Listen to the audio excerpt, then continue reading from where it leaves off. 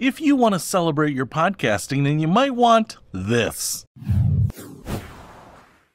What's happening, Panda Nation? Peter Von Panda here. I'm holding my hand here, a microphone. But it's not just any microphone, it's a fake microphone. It's just kind of a plastic shell, and I ordered it because it was $8, and I thought, what does a fake plastic microphone look like? And why would someone need it? Well, I actually thought there could be a lot of uses for it. First of all, I want to show you what it comes like. It comes packaged in a bag like this. It comes with this little base, and then the top part here, the microphone, which is just kind of this old school housing on this plastic yoke here, and all you do is you put it in there. There was no screw. There's not even a screw hole to bolt it together, but pretty easy to assemble, just like that, real time assembled and disassembled.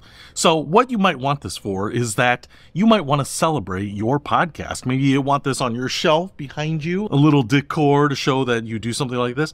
Maybe you are a little tiny person and you want to have this sitting in front of you like you're talking into it. And I say a little tiny person, not like me, I'm big boy, a little tiny person because it seems to be undersized. I feel like this is 75% scale. You know, it just seems like it's a little bit small. Now, it might be the right size, but I feel like when I've seen people use these, they're bigger, you know, maybe about this tall. And they do come in some different colors. I picked it up in this gold tone, like a celebration. It's like a golden statue, an Oscar, if you will, but for for podcasting, for singing and doing your vocals. And I think a lot of people, you know, might want to set up their desk and put this in front of them and record them speaking into a fake microphone because they use a shotgun mic or a boom mic or a lapel mic, something like that.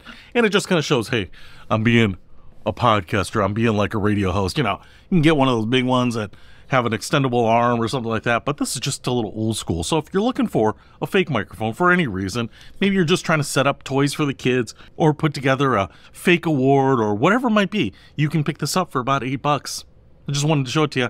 I picked one up. It's going on my shelf. I'll put a link to it in the description below. Peter Von Panda.